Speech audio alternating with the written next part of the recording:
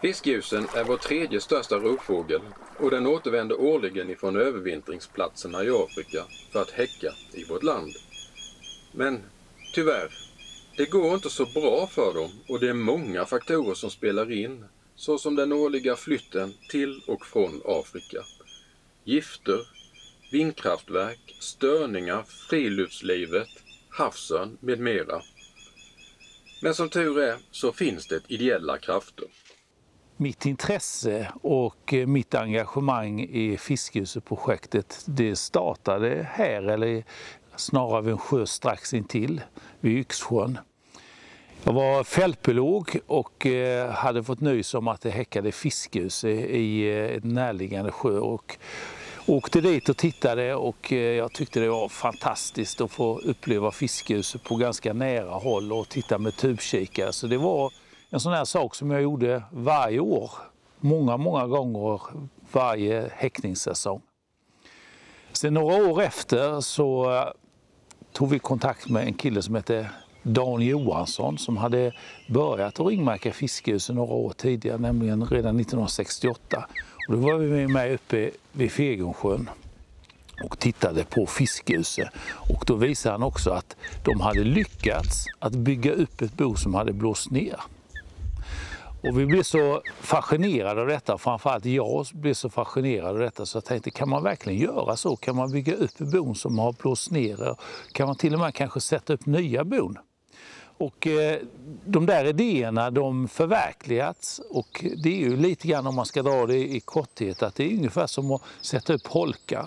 Om man sätter upp holkar för det finns inte tillräckligt med bohål i träden och det gynnar ju holkhäckande fåglar och samma sak är det med fiskgusar. För det var nämligen så på 70-talet där man hade ett lika intensivt skogsbruk som man har idag, då tog man inte hänsyn till att det fanns stora tallar kvar. Och stora tallar, det är liksom det som fiskhusen häckar i. När en tall blir tillräckligt gammal, när den blir 300 år, 200, eller 200-300 år, då blir kronan platt. Och just uppe på en platt krona, där bygger fiskhusen sin bo. Och den typen av trä är extremt ovanliga här nere i Halland och södra Sverige. Det finns ett och annat och där häckar det fiskhusen, men ofta så häckar de i bon som egentligen inte klarar att bygga ett bo utan de, de bygger på en topp som har blåst ner och sen bygger de ett bo och sen året efter när det är höststormar eller vinterstormar då blåser det ner. Och då kom vi på att man kanske ska kunna bygga bon och då började vi att göra det. Och vi började bygga med, eh, med käppar av en och eh, ek som är mest hållbara och det visade sig ganska snart att eh, vi fick nya häckningar. Och sen har det där utvecklats och vi har jobbat vidare med detta och till slut så har det blivit så att vi har konstruerat en speciell korg som ser ut på följande sätt en eh, kraftig korg i armeringsjärn. Och det är liksom det mest optimala som vi har kommit på. Och då gör vi så här att eh, vi väljer ett, eh, en tall som står solitärt, alltså ensamt. Fiskhusarna vill inte ha några träd som sticker ovanför där de ska häcka eller eh, står jämte och skymmer utan det ska vara ett, ett träd som står helt solitärt. Eh, med markägarens tillstånd så klättrar jag upp i toppen på sånt här tall och eh, kapar toppen och sen monterar man fast den här med eh, vajrar så att själva stammen går här eller gärna sticker igenom här och så någon gren som sticker emellan och sen flätar man in käppar i det här och sen gör fiskljusarna resten. Och med tiden så växer de här vajrarna fast i trädet och då får man en extremt hållbar plattform för fiskgjusarna. Och i dagsläget så har jag väl satt upp närmare 95 sådana här. Och eh, nästan alla som vi har ute, häckningar som vi har, det är restaurerade eh, plattformar eller nya plattformar som jag har byggt upp. Så att, eh, och det är i mellersta Halland, och det är uppe i södra Småland, Västergötland och nu det sista även nere i, i södra Halland och den delen av Småland som gränsar till, eh, till Skåne. Så det har varit lyckosamt. Men samtidigt så är det rätt så oroande för att fiskehusen minskar. Och det gör den, har man gjort undersökningar, i vårt område, jag kan bara säga på de senaste 20 åren så har fiskehusen minskat till hälften. Och man gör undersökningar dels i Småland och dels i, i Mellansverige och det har visat sig att de minskar där också precis lika mycket, ungefär hälften eller mer än hälften. Det, det, är en ny aspekt på det här med att fiskhusen minskar som jag inte har tänkt på tidigare. Jag träffade en forskare som jobbar med Bolmen. Bolmen förser hela Skåne med vatten och de har ett stort problem att Bolmen blir mer och mer brun, det vill säga humifierad. Och när de berättade för mig då tänkte jag, aha, det är ju faktiskt ett stort problem som jag inte har tänkt på. Med dagens intensiva skogsbruk där man gör kalhuggen ända in till kanten till sjöar och eh, myrarna, i stort sett alla myrar är, är dikade idag. Så mycket av det överskottsvattnet det hamnar i sjöar, vilket innebär att vissa sjöar blir brunare och brunare, mer och mer humifierad. Och det innebär ju sin tur för fiskhusen att den ser inte fiskarna på samma sätt som tidigare.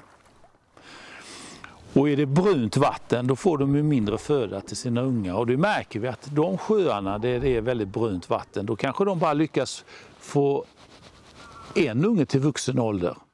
Medan då sjöar där det är klarare vatten eller som vi ser i södra Halland där det finns en å med väldigt klart vatten, där får de ut tre ungar varje år. Så det är definitivt en bidragande orsak till att de minskar. De får inte ut tillräckligt med ungar.